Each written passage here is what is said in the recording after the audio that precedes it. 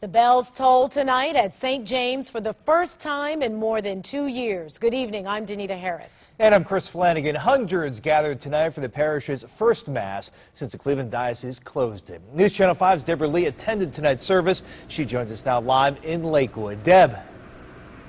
Chris and Danita, this Mass at St. James began at 7, but you had to get here a lot earlier than that if you had any expectations of getting a seat.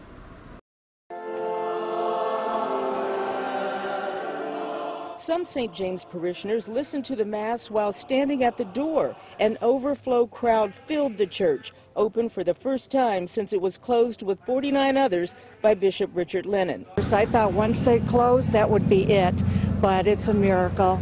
The Lord rules. This reopening Mass was held on the Feast of St. James after parishioners successfully appealed the closing to the Vatican.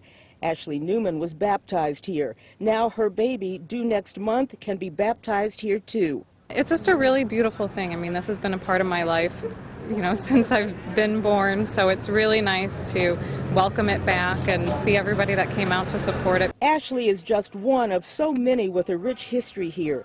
Marriages, baptisms, all along Detroit Road, there are signs welcoming the St. James family home. Meanwhile, Father Joseph Workman is calling on the family to get back to its faith. We have to get back to our roots.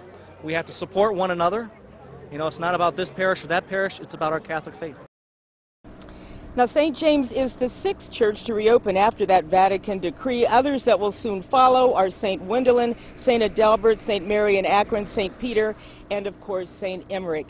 And the next Mass here at St. James in Lakewood is coming up this weekend, Saturday and Sunday. Live in Lakewood, Deborah Lee, News Channel 5.